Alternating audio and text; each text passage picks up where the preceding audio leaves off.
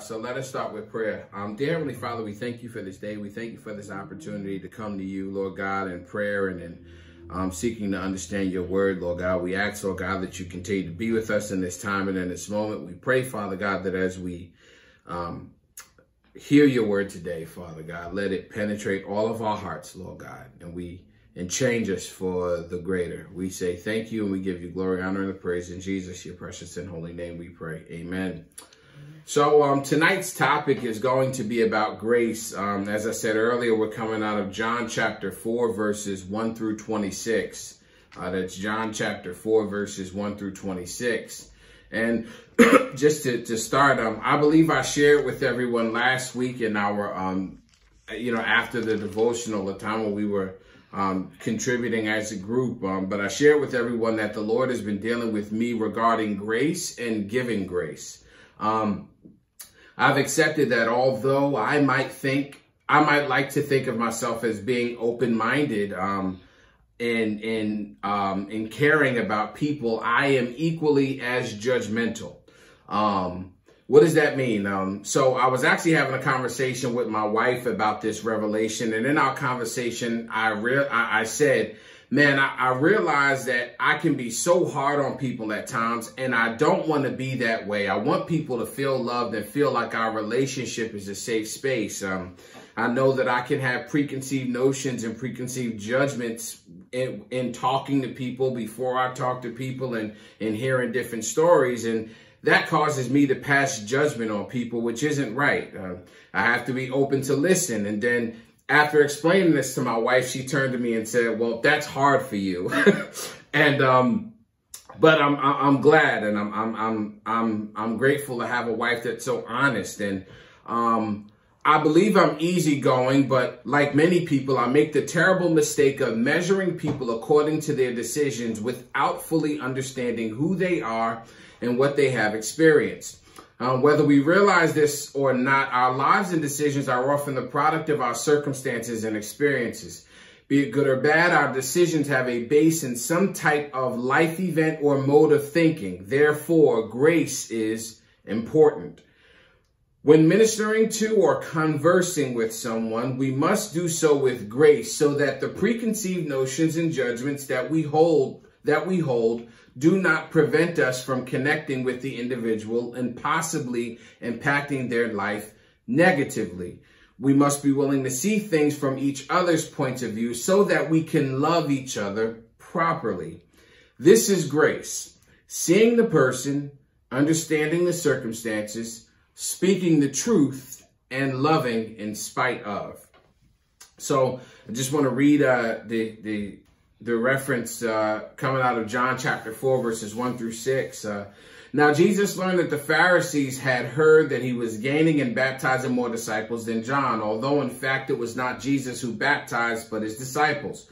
So he left Judea and went back once more to Galilee. Now he had to go through Samaria. So he came to a town of Samaria called Sychar near the plot of ground Jacob had given to his son Joseph. Jacob's well was there, and Jesus, tired as he was from the journey, sat down by the well. It was about noon. When a Samaritan woman came to draw water, Jesus said to her, Will you give me a drink? His disciples had gone into the town to buy food. The Samaritan woman said to him, You are a Jew and I am a Samaritan woman. How can you ask me for a drink? For Jews do not associate with Samaritans. Jesus answered her, If you knew the gift of God and who it is that asked you for a drink, you would have asked him, and he would have given you living water. Sir, the woman said, You have nothing to draw with, and the well is deep. Where can you get this living water? Are you greater than our father Jacob, who gave us the well and drank from it himself, as did also his sons and his livestock? Jesus answered, Everyone who drinks this water will be thirsty again, but whoever drinks the water I give them will never thirst. Indeed, the water I give them will become will become in them a spring of water welling up to eternal life. The woman said to him, Sir, give me this water so that I won't get thirsty and have to keep coming here to draw water. He told her, Go call your husband and come back. I have no husband, she replied. Jesus said to her, You're right when you say you have no husband. The fact is you've had five husbands and the man you now have is not your husband. What you have just said is quite true. Sir, the woman said, I can see that you are a prophet. Our ancestors worshipped on this mountain. But you Jews claim that the place where we must worship is in Jerusalem. Woman, Jesus replied, believe me, a time is coming when you will worship the Father near, neither on this mountain nor in Jerusalem. You Samaritans worship what you do not know. We worship what we do know. For salvation is from the Jews. Yet a time is coming and has now come when the true worshippers will worship the Father in spirit and in truth, for they are the kind of worshippers the Father seeks. God is spirit, and his worshippers must worship in spirit and in truth. The woman said, I know, I know that Messiah called Christ is coming. When he comes, he will explain everything to us. Then Jesus declared, I, the one speaking to you, am he. So point number one, seeing the person and understanding the circumstances. There are a lot of different elements to unpack in this discourse between Jesus and the Samaritan woman, but I'm just going to deal with the grace aspect and seeing the person and understanding the circumstances. The Samaritan woman understood the social climate as she said, Jews do not associate with Samaritans. Because of this, her response to Jesus was an effort to let him know that he was possibly making a mistake and that she understood what it was. Um, Jesus' response, however, of if you knew the gift of God and who it is that asked you for a drink, you would have asked him and he would have given you living water. In this, Jesus, Jesus was giving a, was was countering the social issue to ensure her that he was not mistaken, but to also introduce the more pressing issue of salvation through him. Her preconceived notions and understanding of the social climate could have alienated her from connecting with Christ. And if Christ had the same judgments, then there would be no exchange. Christ sees us and he understands the circumstances surrounding us, but he is unmoved by these things because he is Lord of all. Point two, speaking the truth.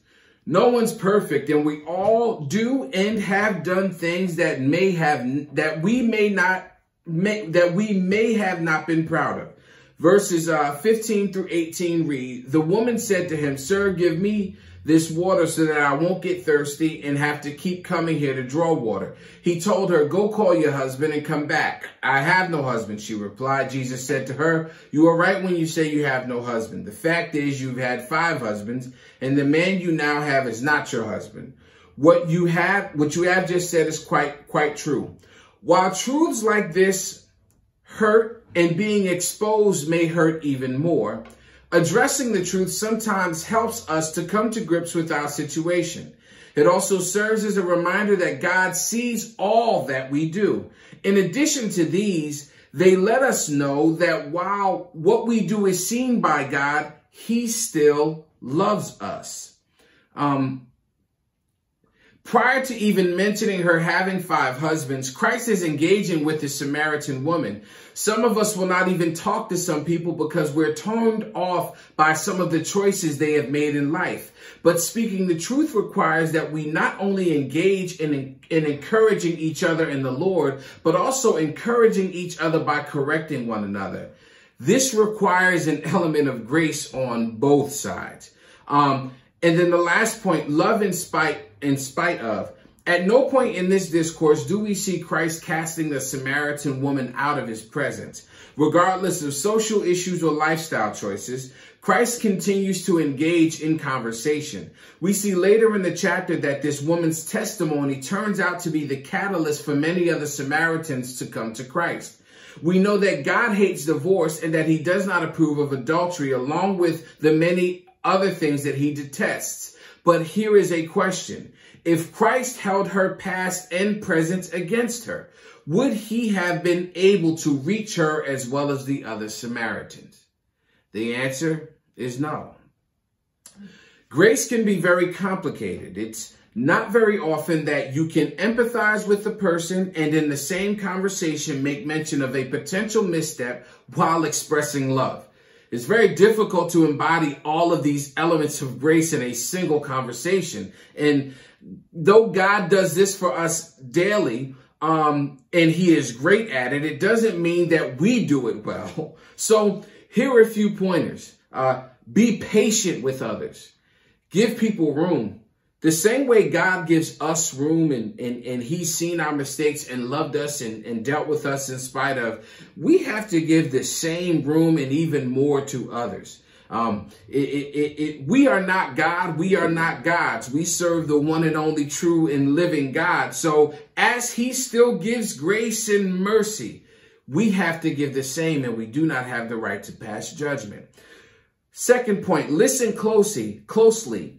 People reveal a lot of about themselves in what they say. People reveal a lot about themselves in the words that they use uh, you can, some people use big words and, and use very large phrases to try to prove uh, that they're intel or to, to prove their, their level of intelligence. And sometimes when they use those words and phrases, it exposes either that they have a high level of intelligence or it exposes that they're trying to be viewed as an intelligent person. Um, it, that, that can happen in, in multiple different ways, but uh, listening closely helps us understand who we are dealing with. Sometimes in our conversations and in, in general, we can hear a person's heart and hear the insecurities in their heart just by sometimes, you know, we're talking about listening, but even looking intently, looking in their eyes, looking at their mannerisms in their, and their gestures. It can reveal a lot about what a person feels, how they feel, and also what they think. The third point, be open. Don't be afraid to share your story. Now, pick your spots. Sometimes uh, we can be very hasty in wanting to identify with what a person is going through that we um, hinder their ability to share.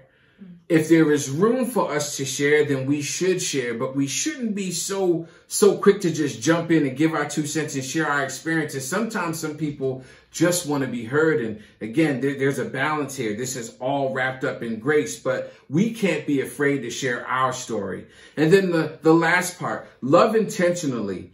Make sure that the love of God is something that you actively know and feel so that it comes across in our interactions. Um, there are some people that say that they know the Lord, but there is no evidence of love in them or in their actions. Love is intentional and it is always at work. It is placed in our inside our hearts by God so that we can give it to the world. Um, I think it's First Corinthians 13, and, and, and, it talks about um, it talks about love being patient, love being kind. Prior to that, um, in Paul's letter, he is referencing all of the different gifts that the church in Corinth had at the time, but he started to also he he he began to reference how how they're operating so well in these gifts, but they lack love. And in all of this, when we talk about grace, love is probably the, the, the major aspect, especially the loving in spite of, because we can have all of the gifts and the talents in the world. But if we lack the love of God, if we, if we lack the activity of love of God in our minds and in our hearts, we cannot give grace to others because we do not know what grace feels like ourselves. When we encounter the love of God, we are forced to sit back and not only look at ourselves, but look at the rest of the world through the eyes of God. So love is important. Loving intentionally is important. Here's a question. Where would we be without God's grace? I can only imagine what that question means for me. So with that, I want to work on giving more and more and more and more and more grace to everyone else. Let us pray.